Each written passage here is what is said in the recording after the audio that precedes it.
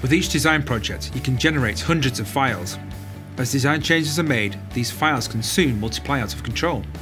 Unless, of course, you're using SOLIDWORKS Enterprise PDM, which lets you search, manage, and revision control your data, so you never lose a file and you always have the latest information. And it's so simple to use. With SOLIDWORKS Enterprise PDM 2013, we've taken ease of use to the next level with some cool new features. Let's take a look. As you hover your mouse over a username in Windows Explorer or a file open dialog, you immediately have access to information about that user. The pop-up shows a photograph of the user and their current status as well as contact phone numbers, or you can send them an email or start a chat from here too. There's even a presence note for a quick update of a user's status. Collaborating with your design team has never been easier.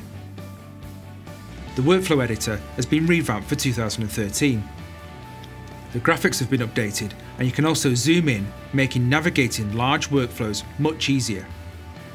We've taken the permissions pane off the screen to make more room and combined all that information into a single properties dialog with tabs for easy access and editing.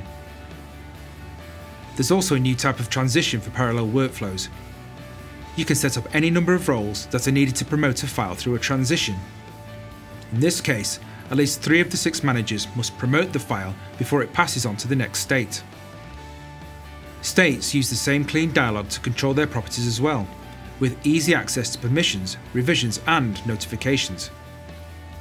A new type of notification has been added for when a file has remained in a state for too long, waiting for approval.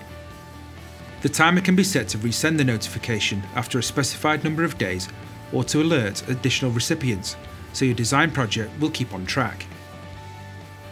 SOLIDWORKS Enterprise PDM 2013 streamlines your workflow, improves project collaboration and makes PDM a pleasure to use.